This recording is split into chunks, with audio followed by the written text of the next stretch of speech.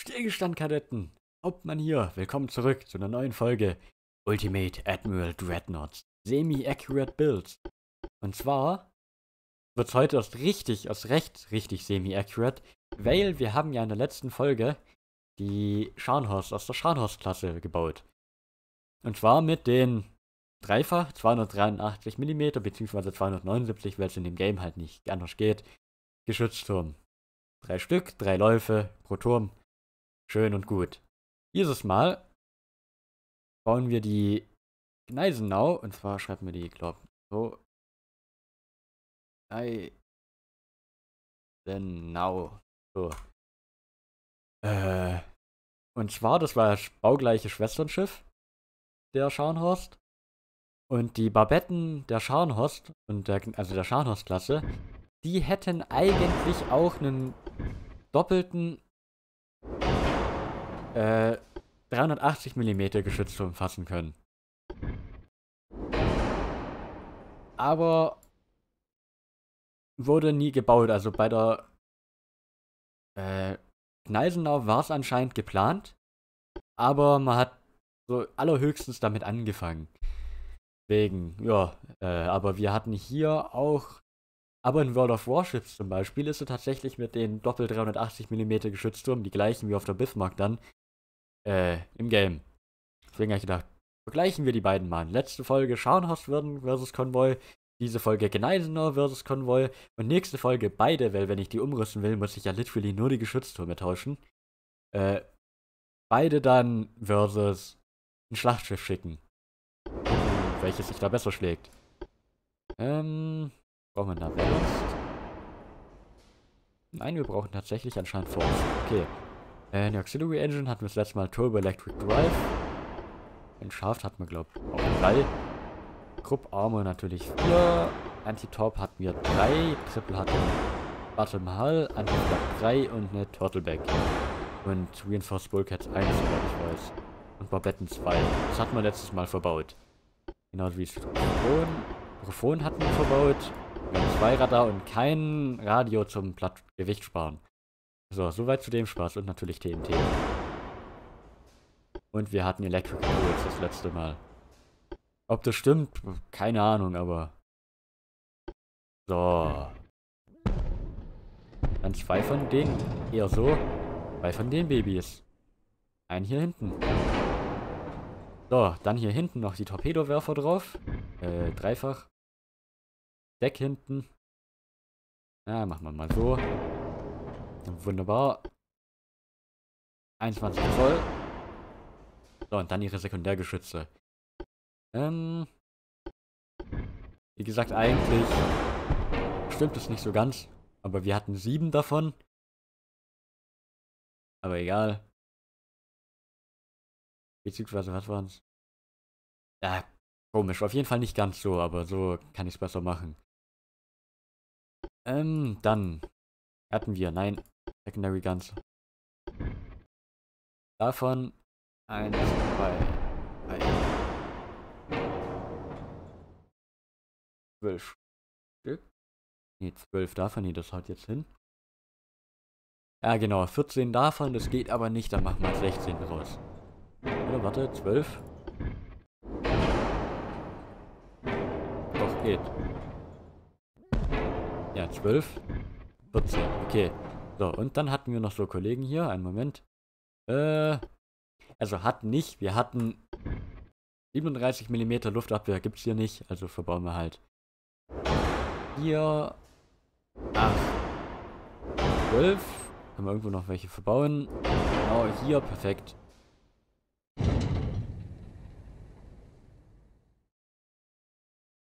Die sind wir nicht so gut gebalanced wie die letzten Mal. Das letzte Mal. Ah, doch, perfekt. Der hat einen schlechten Schusswinkel, das gefällt mir eigentlich nicht. Lassen wir dahin. Ähm. Haben wir ein Problem?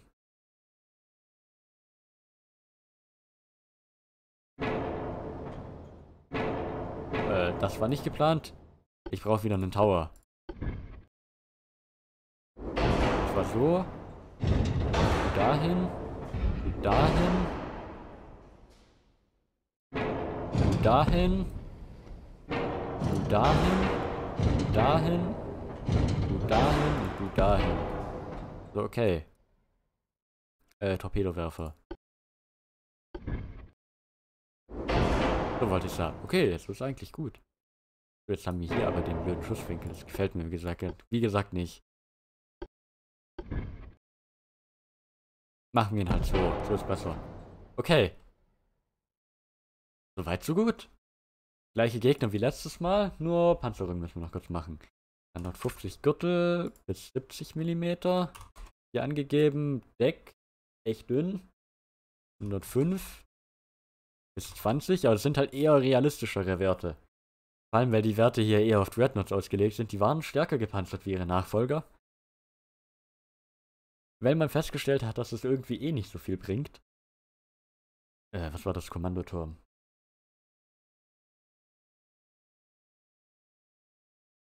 So, und hier 360. Weil die großen Geschütze kommen sowieso durch irgendwie, also von dem her. Äh, 140. Ne, 150 sogar, Entschuldigung. Und hier 140. Okay, perfekt. Im Einsatz bereit. Ei, ei, Captain, hätte ich gesagt, oder?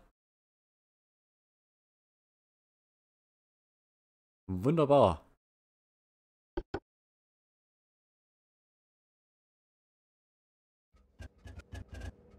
Achso, jetzt habe ich natürlich nicht auf den Loader geachtet. Und zwar äh, Rebuild Chip. Wir haben was Wichtiges vergessen. Ich will die Nachladerate auf die World of Warships Nachladerate von ca. 30 Sekunden bringen. Wir bräuchten einen angeblichen Autoloader, aber egal.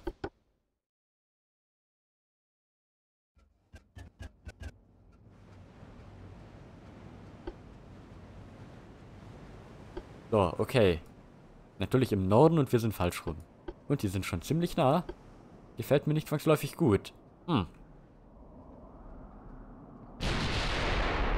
Oh, okay. Da haben wir was gefunden. Aber bist du ein Transportschiff? Nein, du bist ein Kriegsschiff. Ich weiß was, aber wir müssen Mumpe sparen. Wir haben nicht so viel davon.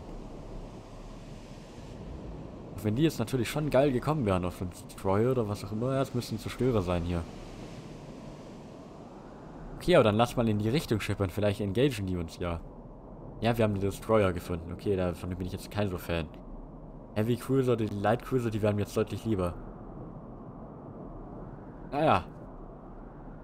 Okay, äh, da spricht man von Light Cruisern, oder? Oder seid ihr Transportschiffe? Okay, ihr scheint Transportschiffe zu sein. Die fahren ja voll von uns weg, Mann. Das ist ja mal voll bescheuert. Okay, da ist der Light Cruiser. Okay, wir klären hier so langsam alles auf. Das sind Transportschiffe, die können wir erstmal ignorieren. Das dürfte unser Heavy Cruiser sein.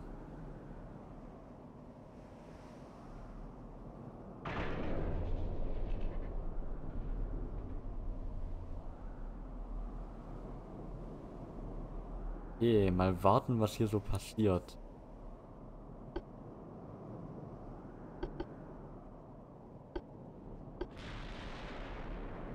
Gucken, ob wir den Kollegen mal erwischen. Will ich nicht, wäre ja zu schade, aber mal gucken. Ihr seid ja einfache... Einfache, einfache... Oh, oh, oh, Alter! Als ob die es gewusst hätten, haben die schon mal HE geladen. Für den Einlauf.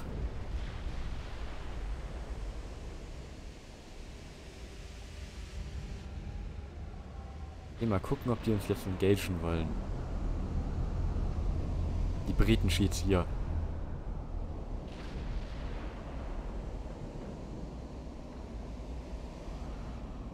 Okay, der war ganz schön knapp auf den zweiten leichten Kreuzer, der Schuss gerade. Hätte doch mal, mal auf Safe gesetzt. Lass uns Munition sparen. Lass uns näher rankommen und Munition sparen.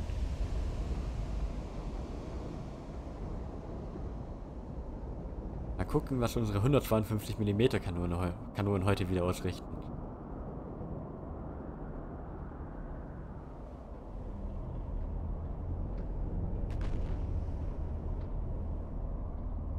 Der Kollege manövriert teilweise sehr stark. Enemy Torpedos. What the fuck? Wann wurden die denn bitte geschossen? Wann wurden die bitte geschossen?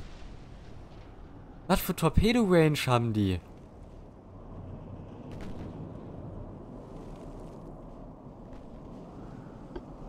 What the fuck? Okay, engage.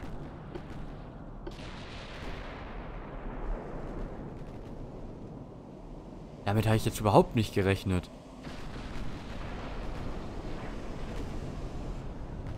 Okay, lass den mal fertig machen, den leichten Kreuzer da. Weil notfalls...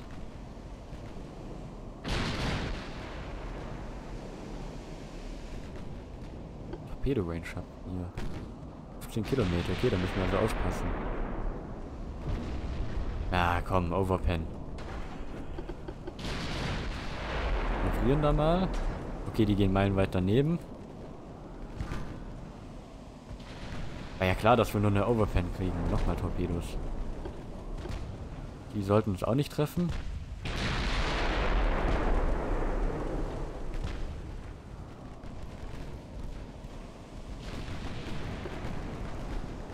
Okay, die haben 21... Oh, okay, das habe ich jetzt leider nicht gesehen. Verdammt. Okay, aber der Kollege sollte Geschichte sein. Können wir auf den hier gehen.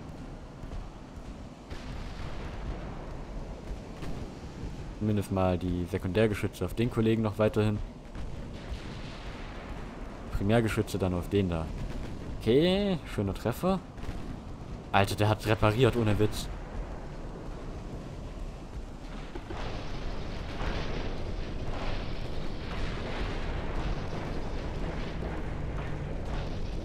Die DDs haben extrem wenig Munition dabei.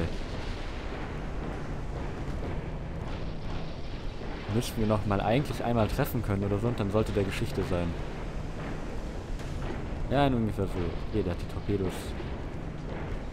Okay, nämlich in ungefähr so und die Sekundärgeschütze auf die DDs.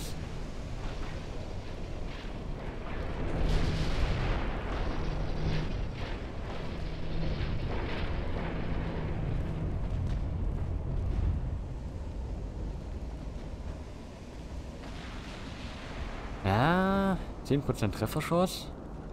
Könnte mal wieder was dabei sein.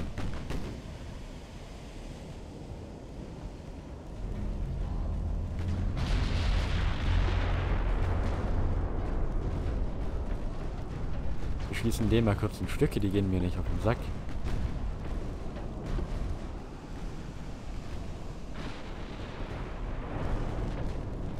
Gut, dann dann mal alles auf die Morson.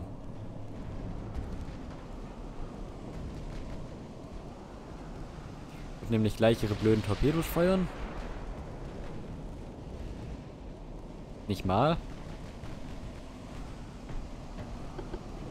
Gut, dann vielleicht doch auf die Strongbow. Kann Torpedos riechen, meine Freunde. Eigentlich nicht. Ich hab's ja gesehen, dass ich sie nicht riechen kann, aber egal.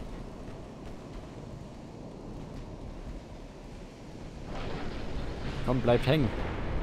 Idioten. Ah, komm schon, das war so knapp. Overpen von irgendeinem Sekundärgeschütz.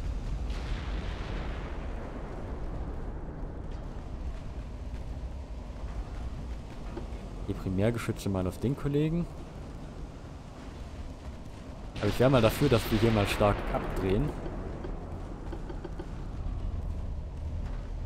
Jetzt fahren wir ja dann auch eine sehr starke Wende. Das wird wahrscheinlich die KI sowieso verwirren. Wir können einfach mal Torpedos auch ins Wasser lassen, notfalls. Okay. Da wurde es vom Torpedo getroffen. Nur noch keine Torpedos im Wasser. Das wundert mich jetzt aber echt. Hier kann ich aber auch nachvollziehen, wir sind gerade in einer extrem starken Wende, da Torpedos... Ey, Windows, hör auf, irgendwelche Dinge im Hintergrund zu tun. Irgendwelche Torpedos zu feuern, macht auch recht wenig Sinn, wie ich finde. Ist leider die KI, wenn die meine Schiffe steuert oder meine Schiffe, nicht unbedingt, sind da nicht immer der gleichen Meinung. Okay, die hat Torpedos ins Wasser gesetzt. Also, äh, Kurs hier fortsetzen. Fahren wir eine kleine Wende. Dann können wir den DD erstmal eh komplett ignorieren. Oder auch nicht, ist mir egal. Machen wir den halt fertig. Den müssen wir doch jetzt eigentlich bald mal wieder treffen können. Ah, aber ganz schön knapp.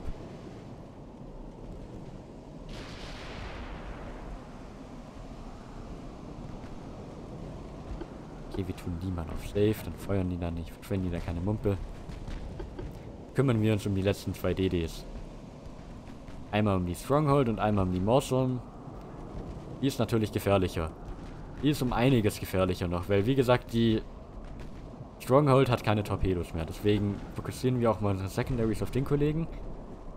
Auch wenn der Schuss gerade wahrscheinlich das Ende war für die Stronghold, aber okay, da sind Torpedos im Wasser. Wir sind immer noch in der Wende. Erstmal die Wände noch ein Stück enger ziehen. Da mal die Torpedos aufmachen.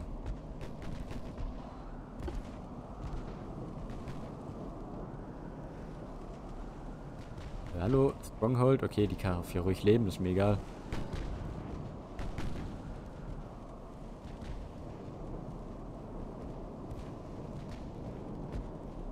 Beziehungsweise leben darf sie nicht, aber sie hat eh keine Torpedos. Von dem her kann sie mir eh nichts.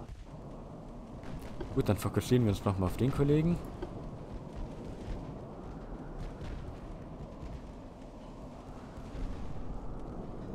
Hier schön getroffen mit der 102 mm.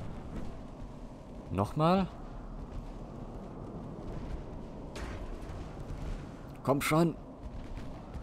Ja, wir können wieder auf Fünffachgeschwindigkeit, sehe ich gerade.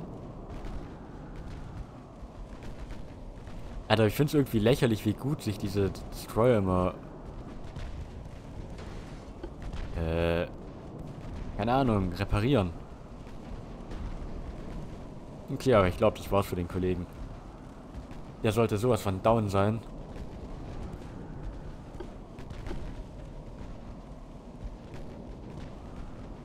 Gut, natürlich die Morsum, da ist noch gefährlich, da müssen wir aufpassen. Die Torpedos sollten längst vorbei sein. Und der Kollege da sollte bald endlich mal untergehen.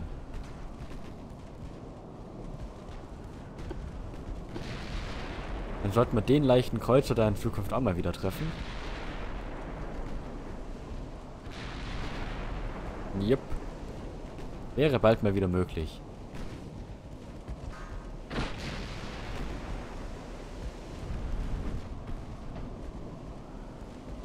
Alter, die Stronghold hält da noch ganz schön lange durch.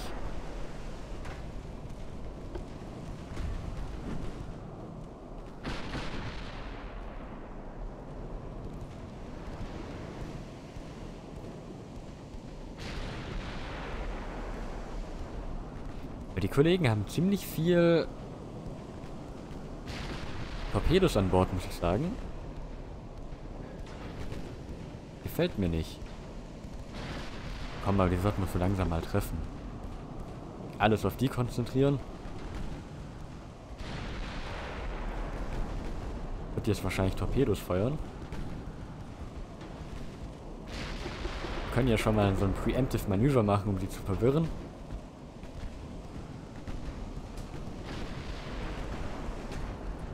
Hier, sie wollte wohl doch kein Torpedo feuern.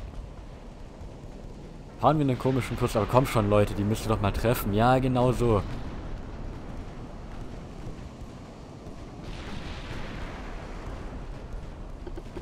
So, und dann Sekundärgeschütz auf den Kollegen. Alter, komm schon, die hat schon wieder überlebt.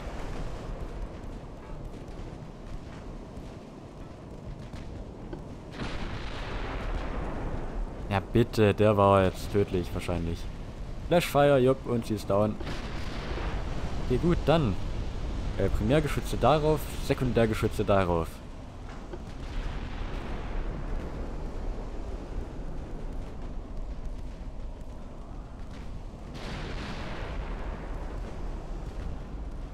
Die auf den haben natürlich eine deutlich höhere Hitchance. Vale ein deutlich... Uh, okay, der tat ziemlich weh. Dieser, der Schuss tat auch weh. Da drüben war kein Treffer dabei.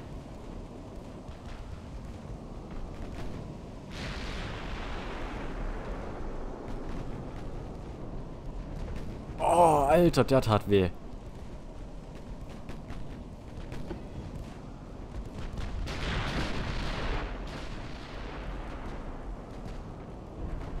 Der auch. Wunderbar. Destroyer down, bevor Torpedos feuern konnte. Der ist gerade aktiv am Fluten noch. Liegen natürlich daneben.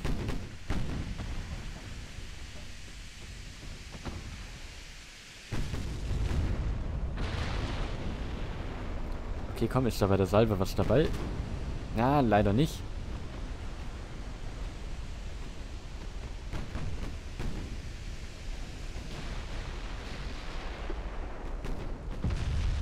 Okay, ein schönes Feuer am Arsch. Sehr schön.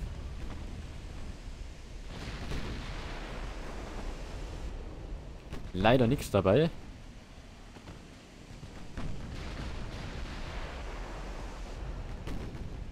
Okay, die Imperiosi oder wie auch immer die heißt, ist natürlich ein wenig schneller wie wir. Und da war ein Abpraller dabei. Okay, aber die ist down. Also geht jetzt gerade alles auf den Kollegen. Aiming in Progress, warum? Ja, bitte. Okay, er dreht nochmal Breitseite, ist natürlich ein großer Fehler. Und er hat uns ein Arschtorpedo entgegengeschickt. Alter, wie ich Arschtorpedos in dem Game hasse. War ja klar, Engine beschädigt.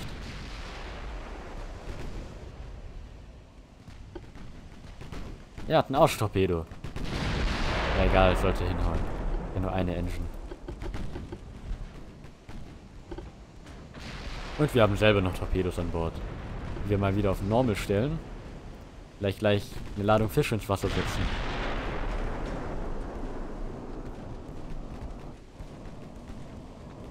Okay, wir haben eine beschädigte Engine, das ist natürlich nicht so gut. Bam! Sehr schöner Treffer.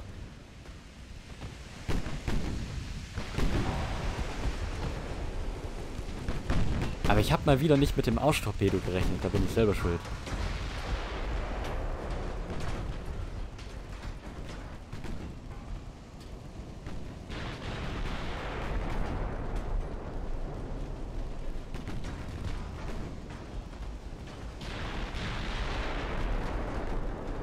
Kommt gleich wieder der Arschtorpedo. Wir steuern mal ganz extrem schon mal ein.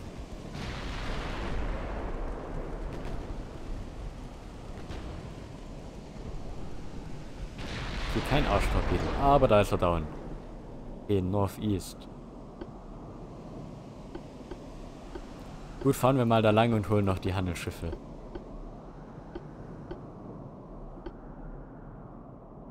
Auf. Ey, gut, dann halt da lang.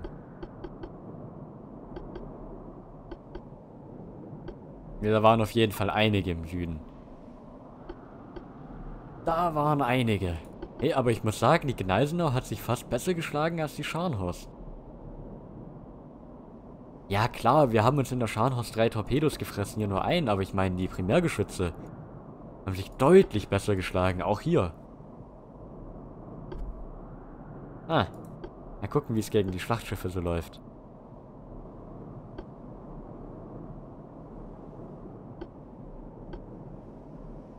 Ja gut, aber die 283 mm Geschütze sind halt auch echt unvorteilhaft bei vielen Dingen. Immerhin ist es ja nicht World of Warcraft, wo du mit den Dingern Probleme mit Kreuzern hast, aber machen halt einfach viel, viel weniger Schaden. Und zwar so viel unendlich weniger Schaden, es lohnt sich kaum, die zu nutzen. Außer natürlich, man hat jetzt vor, mit seinem Battleship gezielt gegen Zerstörer zu kämpfen. Dann empfehlen sich kleine Kanonen.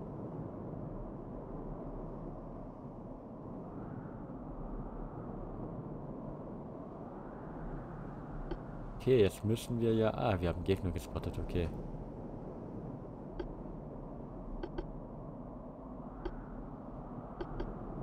Gut, machen wir die mal fertig, oder?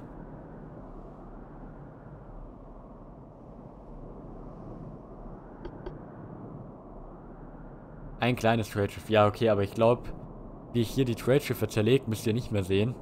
Also. Ja, in dem Fall. Nächstes Mal. Scharnhorst und Gneisenau versus äh, Battleship. Also, wegtreten. Hauptmann out.